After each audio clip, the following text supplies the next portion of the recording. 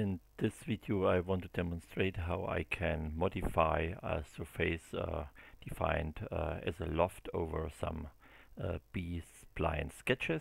We start with this loft. We have here uh, five sketches defined in a common way and uh, here this is the loft with uh, the grid. So and I hide all of them and now I want to create here in this area a mountain. So uh, let's define where we want to create it. First thing what I can do I can uh, draw here a small pattern. Here I want to um, create the mountain. And the first thing what I have to do is I have to convert the loft which is a general uh, B-spline surface into a Bezier surface. So I select it and I call the method B-spline to Bezier surface. In this case I get a new uh, surface.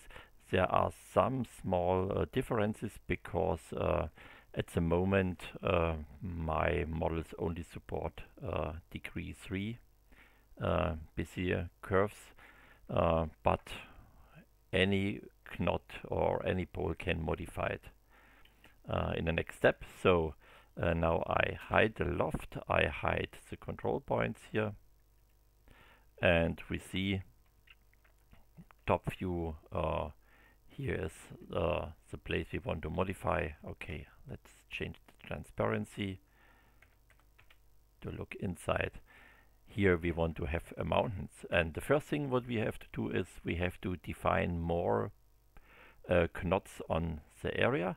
So I select the new surface and start the method add knot. And we see we have here one two three knots in um, uh, uh, direction and I can now add one more knot. The first knot uh, I add nearly in the center of my mountains and then uh, I want to restrict the influence of the new tracked area so I define one uh, knot here and the other one here. The same we do now in U direction. So one knot in the middle of the mountain, one knot on the left side of the mountain and one more knot a little bit uh, with a little bit more distance on the right side.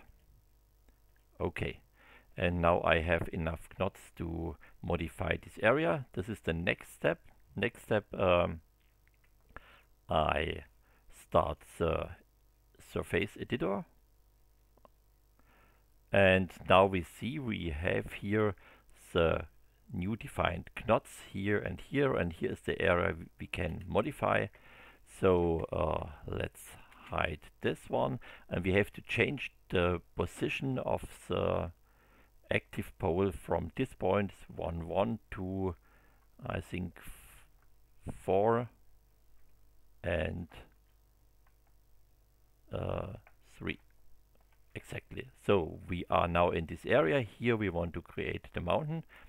And the first thing what we do is we change the position in normal direction. And we see we can go down. And uh, we can also go up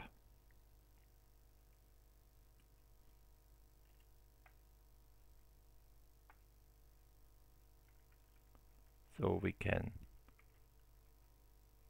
stepwise go down.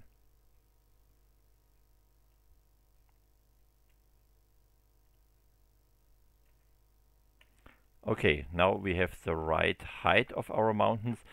The next step is we want to move the mountain from this position a little bit in this direction. This is the, the x direction. So I can change the value here.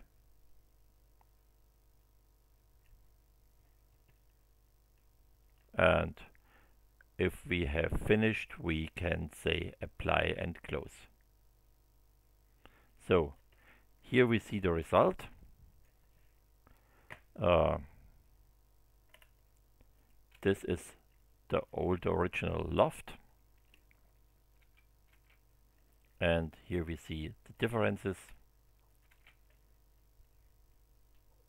we have uh, one small mountain in exactly this area and this is the zebra plot. We see the area is continuous around the new mountain